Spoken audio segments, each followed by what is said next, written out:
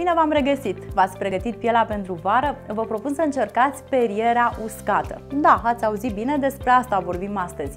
Perierea uscată a pielii este practicată de sute de ani de popoarele scandinave și ruse și este o metodă extrem de simplă de a obține o piele sănătoasă, catifelată și tonifiată și de a detoxifia corpul în același timp. Iar partea cea mai frumoasă este că nu ai nevoie decât de o perie de corp cu peri moi, din sisal sau din păr de mistreț.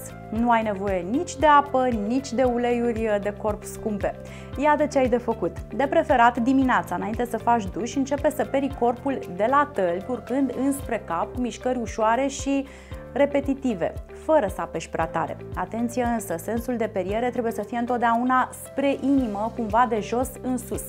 Evită zonele intime și cele inflamate, leziunile sau alunițele care ies în relief pentru a nu le deranja. Și foarte important este să te relaxezi. Perierea ar trebui să fie ritualul tău de sănătate, frumusețe și relaxare, așa că nu te grăbi să peri rapid fiecare zonă, ci respiră și oferă-ți timp să te bucuri de întregul proces. La început s-ar putea să dureze în jur de 15-20 de minute, însă cu cât repeți mai des procesul, cu atât vei învăța mișcările și îți va răpi mai puțin timp. Pielea ta ar trebui să fie rozalie, să simți ușoare furnicături, dar dacă se înroșește prea tare sau te ustură, chiar înseamnă fie că ai periat prea intens, fie că peria este cam dură. Ar fi bine să faci o pauză o zi, două și apoi să încerci din nou cu mai multă blândețe. La final, fă un duș, apoi hidratează pielea cu un ulei natural precum uleiul de cocos. Pare simplu, nu? Acum că ai aflat cum să peri pielea, îți spun și de ce ar trebui să incluzi acest ritual uh, de frumusețe în rutina ta zilnică. În primul rând, pielea va fi mai fină, uh, fermă, sănătoasă. Într-o săptămână ar trebui să simți deja îmbunătățiri. Periera uscată elimină celulele moarte, desfundă porii care pot cauza acne și te poate ajuta chiar să scapi de celulită sau vergeturi pentru că stimulează circulația sângelui și procesul de regenerare.